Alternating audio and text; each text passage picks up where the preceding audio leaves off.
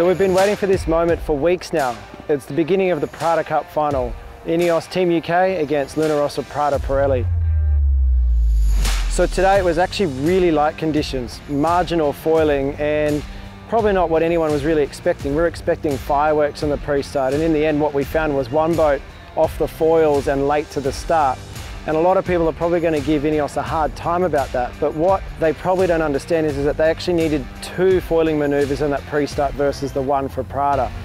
You can look back at that and say that starboard tack entry was probably the wrong choice in hindsight when they got to pick which end because of the light winds. So Luna Rossa just looked fast and smooth and sailing really well in that light winds. They sailed very clean and they handed the first defeat to Ineos in the Prada Cup final. So in race two, we had more action. That was more like what we're expecting to see. We had two boats on the foils, the breeze had come up, Luna Rossa were pushing hard. They were trying to force Ben to be early, but both boats managed to get quite nice starts, very even, and this was the chance we're going to find out which boat was actually quicker. That line up out of the start, off to that boundary, and you could see really quickly that one boat just had a slight edge in those conditions. And then uh, Luna Rossa tacked away. When they came back together, it was a port starboard situation.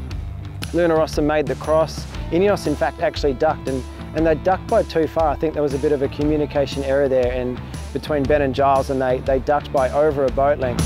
Yours, Ben? Okay, up, up, up, up, up, up. Hang on. Up, Hang up, up, up, up, go. Giles, was my pitch? He came down too much, mate. Copy. I'll do that. Okay. When they came back together next time round, Prada had ex extended their lead, and that lead just extended lap after lap until eventually they won by a decent margin.